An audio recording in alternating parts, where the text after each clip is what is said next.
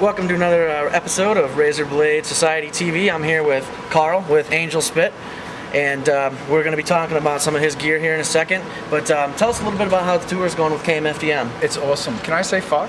Yes. It's fucking awesome. um, it's well, it's great because we're getting exposed to the audience, and the KMFDM audience are fucking brilliant. I've got to stop saying fuck. Fuck. Um, but you're also we're get, getting a face full of KMFDM, and you got the wisdom of like Sascha's 25 years worth, and uh, the pigs and Lucia, and they're very, very, very wise people. So we've been honored that uh, we're getting a lot of like rock training. It's like rock boot camp. And then we've also got their crew, and their crew have worked with everyone.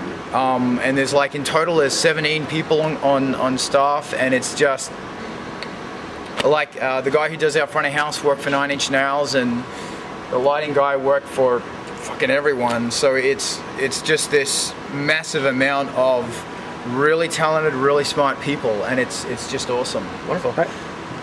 I, I noticed on your blog you were putting uh, just like you know you're just being real honest about the show, saying you know I wasn't sure if we rocked enough. Yeah, well, it's um. You know, I, I, mean, I how think do you feel it's really been going? Um, I think it, it is going well. On my blogs, I'm always really honest because I want. There's always a young musician somewhere who goes, they go off stage and they go, I feel like shit, and uh, you know, I, I want people to know that we feel like shit sometimes when we got off stage as well. Like last night in Detroit, we didn't feel like shit. It was fucking awesome. It was such a good gig, and and um, Cincinnati was a really good gig as well. And I just want to be really honest. Like the people are always great, but you know, it's sometimes you've got to work really hard to break through that. To well, you got to get the audience and you got to ring them until all the rock and roll comes out of them, and then you're covered in your body and shit. But um, so I, yeah, I'm being honest, and it's it's it's a great. It's just a good experience. We're meeting so many people. It's it's a real hive, a real buzz, a real thing. Great. well, let's talk a little bit about your uh, your rig. If uh, Okay, cool. A guy named Steve Jones. Um, Steve Jones, Agent 13. He's like Australia's prime fucking uh, synth repair technician. He fixes old analog synths. And um, me and Steve sat down, because Steve tours the US and everywhere with bands like Kylie Minogue and INXS. And Steve's a rock star for rock stars. And he was awesome enough to help us out with actually putting something together that was short and compact. And remember, all of this stuff had to fit on a plane with us, with all of our other shit, and fit into 90 kilograms.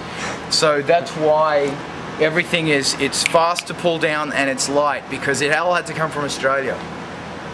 But uh, Steve and myself built this one and it's, um, it's pretty awesome. He also helped me out with this one. Um, we laser cut it and he helped me out with that one. Steve's fucking great. Um, but yeah, the headset for vocoder over here, uh, the the audio signal being pulled. We've got one of the audio signals coming off here is the actual vocoder track, um, and I just used the headset mic to um, to basically get the vocoder working. Um, and the Doepfer this is just the best fucking vocoder you can get your hands on. It's so crisp and it's so it's really fast attacking, and you can also like cross route all the different um, bandwidths to get some really awesome shit happening.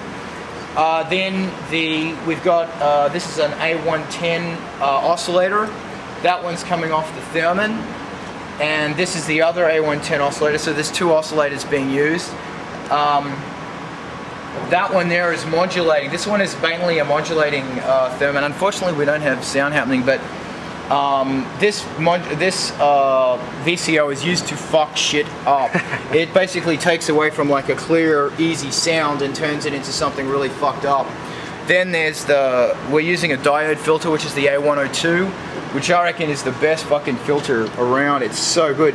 The frequency and the um, resonance on this dude is just insane. You know, we, we can blow speakers up with this fucker. It's just great. Uh, and then other bits of shit as well. So, um, And how much live? Are you playing with this live, or does everything get controlled? um, I'm playing with all of it live. Okay. Um, there's a lot of randomness going on. Like um, each night, it's like, what are we doing tonight? It's like, I don't know. Um, so there's a lot of noise and craziness. And our awesome sound guy Doc, uh, who's um, with KMFDM, uh, he's um, he's kind of keeping everything tame. Um, not to let it get too crazy, because also like Amelia over here, Destroyx is running the um, Kaoss pad, and that's just mainly her vocals. So she brings the obscene doom with that one. And that one's, I don't know, we, we fucked around with like MIDI syncing it and shit like that, but it was just, it started becoming leads and lines going everywhere. And the, the thing we have to do is set up fast, pull down fast so KMFDM can come on and just obliterate. So um, that's basically it. No, what really, about the set list? I heard you guys doing three different set we're doing, lists. We're doing six. Through? Six. Um, we're, we're just sort of, um, we got, because we did this thing on our forum where we did this thing in our forum where we asked everyone what they wanted and they came up with this list of like 30 songs. So we um, we took the most popular songs, which were like 100%, Maggot, uh, Vena Cava, and uh, Fuck the Revolution. And so we're doing those ones every night, but then we're also alternating with stuff like um, Grind and stuff off all the different albums. And um, I don't know, it's working out really well because you get, with KMFDM, you get a lot of people who follow them from city to city.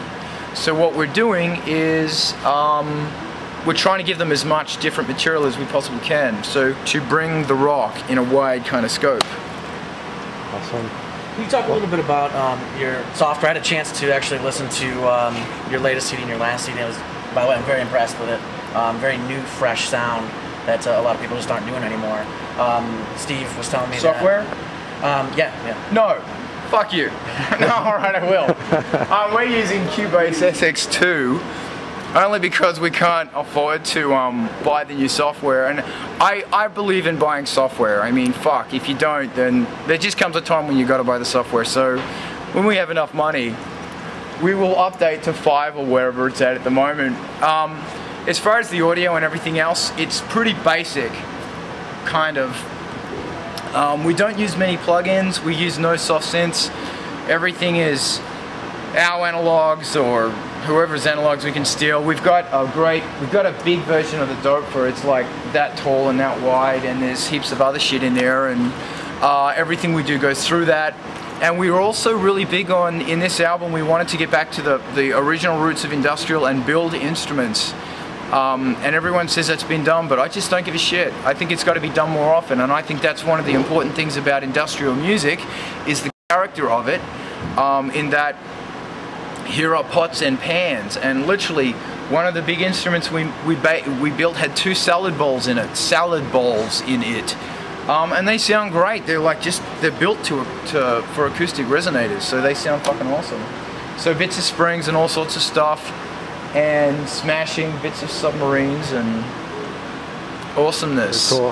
Very cool. Um, and the real thing we always try and do is not to have too many herty frequencies. Like, you know, um, around, you know, 2.83K and around 6K, it can hurt your ears a bit, so we're always pulling shit out there. And another thing to, that we're trying to do as well is keep away from um, just distortion.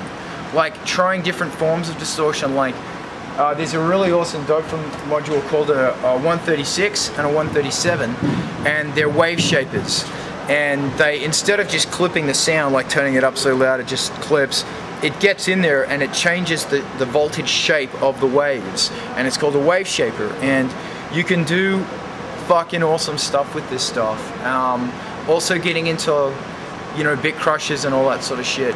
And another fun thing we've been doing I'm dragging the question out a bit is a thing called reamping, where you get uh, the guitarist plays the shit in um, straight out of the guitar, straight into your computer, so you get that pluck, pluck, pluck, pluck sound, and then you fuck that signal up. So you might uh, frequency modulate, filter modulate, fuck it up somehow. Then you put it through the big fucking Vox or Marshall amps or whatever you're using, and you mic them up. You don't put it through the pod because that's boring, but you can if you want. That's okay. Um, and you get some really screaming crazy harmonics and the guitarist can sometimes go, ah, too scary. Appreciate it very much. Again, Carl with Angelspit, thank you very much. Thank you very much. Yep, thanks for watching Razorblade TV. Razorblade TV.